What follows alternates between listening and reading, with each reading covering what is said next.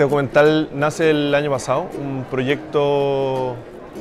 mío en un inicio y con Benjamín Vicuña. Eh, nos interesaba ir a filmar a Palestina una temática relacionada con teatro y encontramos esta historia que es sobre un teatro eh, que está en Jenin, en el norte del West Bank, fundado por un israelí. Eh,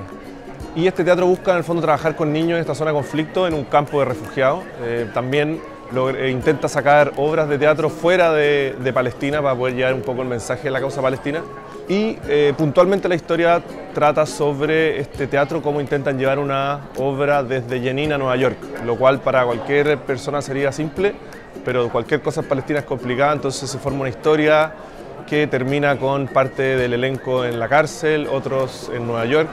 Es una historia de esfuerzo, una historia de arte, una historia de resistencia cultural Estamos acá en Cannes un poco en la búsqueda de financiamiento para la etapa de postproducción. Venimos de un mundo mucho más relacionado con las películas, con el cine, con la televisión y aventurarnos con un documental es como abarcar un área totalmente distinta que está fuera de nuestro, eh, nuestro comprendimiento. Pero ha sido bastante interesante en definitiva porque bueno, hemos hecho contacto con nuestros colegas chilenos que tienen más experiencia y un poco nos han ido brifiando.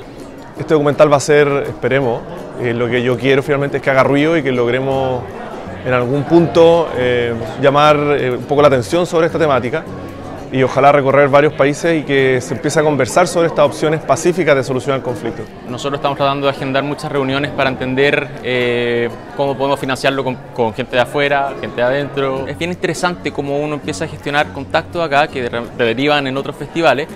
entonces yo creo que ese es nuestro plan de distribución, es venir un poco acá, saber un poco a quiénes le interesan, a qué países le interesan, eh, y en base a eso ir a empezar, empezar a armar una especie de mapeo, de mapa eh, mundial de los festivales para poder mostrarlo.